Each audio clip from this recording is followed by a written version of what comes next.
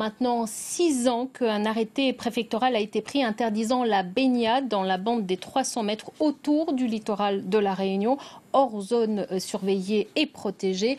Un arrêté provisoire qui perdure depuis le 15 juillet 2013, date de l'attaque mortelle de requins en baie de Saint-Paul. Aujourd'hui, l'association OPR et plusieurs commerçants attaquent cet arrêté et demandent la levée de l'interdiction.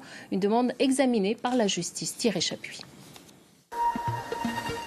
De filet sur Boucan-Canotte et affiché partout l'arrêté d'interdiction de baignade.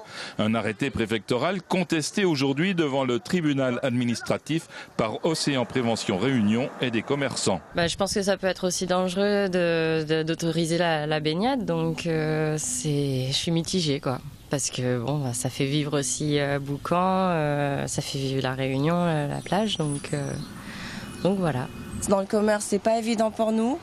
Donc c'est un peu difficile et effectivement, si cette interdiction, euh, ben, ben, ça, se, lève, ben, ce serait génial. quoi.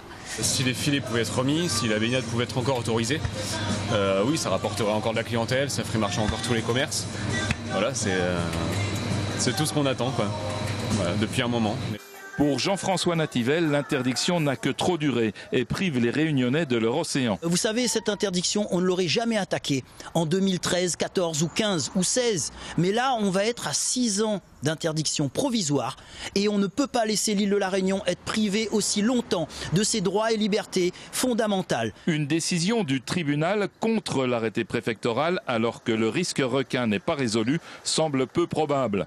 Océan Prévention Réunion veut avant tout faire du bruit, bouger les choses. Notre objectif premier, c'est de porter à la connaissance de la justice les manquements graves et inadmissibles dans cette affaire. Une interdiction provisoire de baignade, c'est une mesure extrêmement forte et elle devait s'accompagner de moyens forts euh, à la hauteur de cette mesure. Et on a attendu et forcé de constater qu'en 2019, la situation est, est pareille, voire pire que celle qu'on avait en 2011, puisque maintenant on a même des requins dans le lagon et on est déjà à deux morts comme en 2011 ou en 2013. Le tribunal administratif devrait rendre sa décision d'ici vendredi.